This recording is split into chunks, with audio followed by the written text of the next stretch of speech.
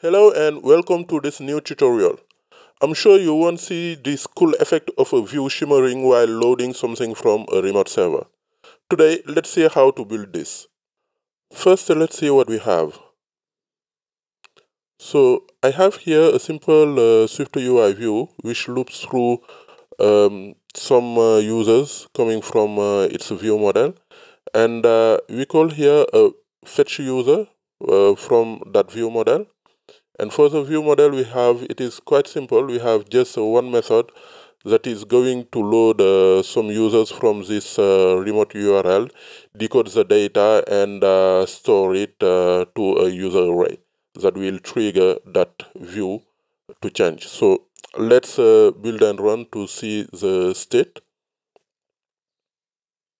you can see here the request is quite fast and uh, we don't have the time to see that uh, view shimmering like uh, we saw previously. So now um, let's add this shimmering effect. Uh, so for that uh, you can build something your own or go to uh, GitHub and download or integrate into your project shimmering library and this is what I've done. I went to this repo and uh, it is a quite simple uh, SwiftUI uh, modifier uh, that will give you the shimmering effect through a modifier. And I went to the um, to this file and uh, just copy this file and paste it into my project. And it is right here. And this is actually what I'm going to uh, to use for this demo now let's see how to add uh, this shimmer effect right here into our view. So um, it is quite simple. So you just need uh, to uh, add the shimmering modifier and let's see what we will have. Yeah, this view is loading uh, the users from the remote server and it is shimmery. But this is not the effect we want, right? We want that view to uh, to have this shimmering effect while loading this list of user. I'm going to uh, remove this shimmering modifier and uh, in the view model you can see that uh, I've add um, is loading uh, published properties that will keep track of uh, the loading state uh, for this fetch user now I need to show uh, some data while this uh, loading is uh, set at true, right? Uh, how we are going to do that is that I'm going to add uh, a simple array inside uh, my user and I'm going to say that this user array is equal to that set of data while this loading is at true and when we have uh, something from, coming from uh, our server, it is going to mutate that uh, user. Let's add this. I'm going to paste some code and it is just a simple data of this uh, user model, right? And now I can just say here that uh, it is equal to sample, right? Or should I say user dot sample? Right? And now uh, while loading we can see we'll see that okay it is quite fast so uh, we are definitely going to add uh, some uh, delay as well so that uh, we can see what is going on okay? Um, I'm going to uh, sleep for 4 seconds just to see this user data here let's build and run. Okay so we can see this user data for four seconds. And uh, once we get something from the server it is going uh, to replace uh, those fake data. We're on the right track. Now we need just to uh, animate this uh, fake user data while uh, loading. And it is quite simple. Here we can have a if statement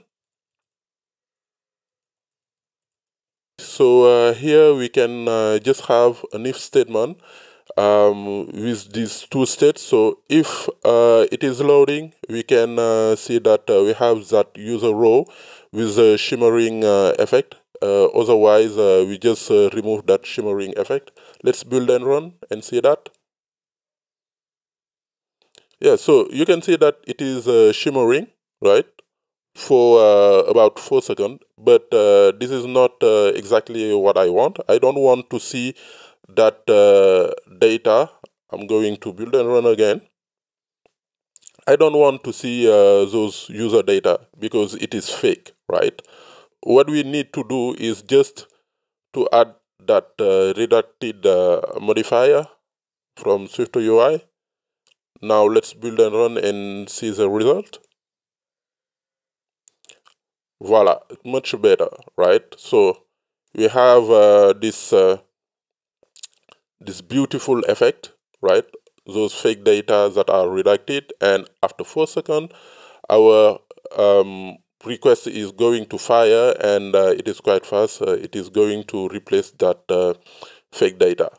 So far so good.